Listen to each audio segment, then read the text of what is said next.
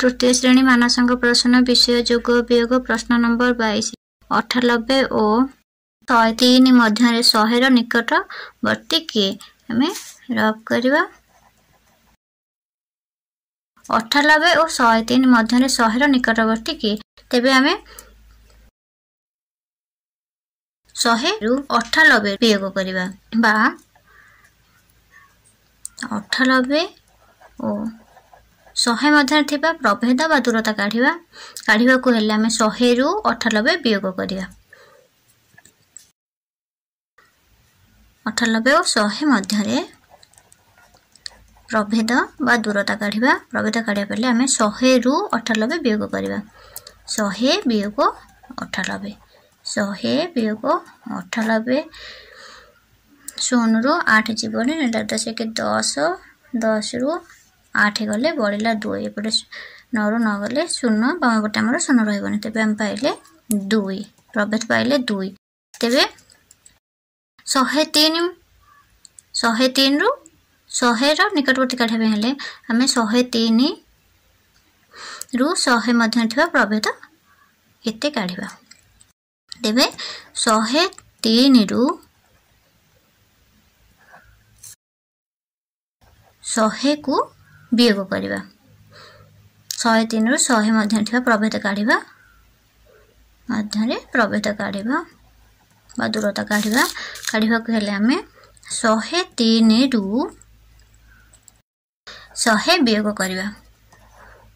ଶହେ ତିନି ବିୟୋଗ ଶହେ ତିନିରୁ ଶୂନ ଗଲେ ତିନି ଶୂନକୁ ଶୂନ ବାମ ପଟେ ଶୂନ ରହିବନି ତେବେ ଆମେ ପାଇଲେ ତିନି। ଅଠାନବେରେ ଦୁଇ ଯୋଗ କରିବା ତେବେ ପାଇବା ଶହେ ଶହେରେ ଯଦି ଆମେ ତିନି କରିବା ତେବେ ଆମର ରହିବ ଶହେ ତିନି। ତେବେ ଆମର ଦୂରତା ରହିଲା ଦୁଇ। ତାର ନିକଟବର୍ତ୍ତୀ ସଂଖ୍ୟା ପାଇବା ଆମେ ଶହେର ନିକଟବର୍ତ୍ତୀ ସଂଖ୍ୟା ହେଉଛି ଆମର ଅଠାନବେ। ଶହେର ନିକଟବର୍ତ୍ତୀ ସଂଖ୍ୟା ଆମେ ପାଇବା ଶହେର ନିକଟବର୍ତ୍ତୀ ସଂଖ୍ୟା ହେଉଛି ଅଠାନବେ। ଏହିପରି ଭାବେ ଆମେ କରିବା।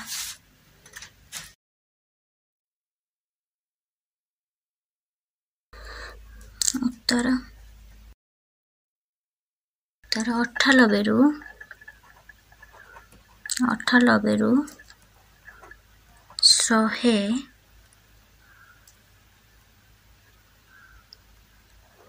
ର ପ୍ରଭେଦ ବା ଦୂରତା?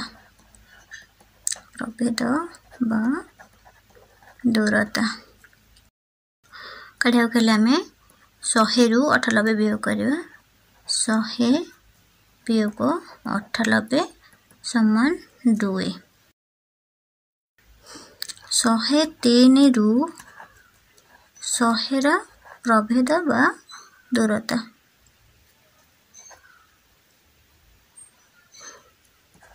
ପ୍ରଭେଦ ବା ଦୂରତା ସମାନ ଶହେ ତିନିରୁ ବିୟୋଗ କରିବା ଶହେ। ସମାନ ତିନି ତେବେ ନିକଟବର୍ତ୍ତୀ ଅଠାନବେ ଓ ଶହେ ତିନି ମଧ୍ୟରେ ନିକଟବର୍ତ୍ତୀ ଅଠାନବେ ଓ ଶହେ ତିନି ମଧ୍ୟରେ ଶହେର ନିକଟବର୍ତ୍ତୀ ସଂଖ୍ୟା ହେଉଛି ଆମର ଅଠାନବେ। ଅତେବ ଅଠାନବେ ଓ ଶହେ ତିନି ମଧ୍ୟରେ ଶହେର ନିକଟବର୍ତ୍ତୀ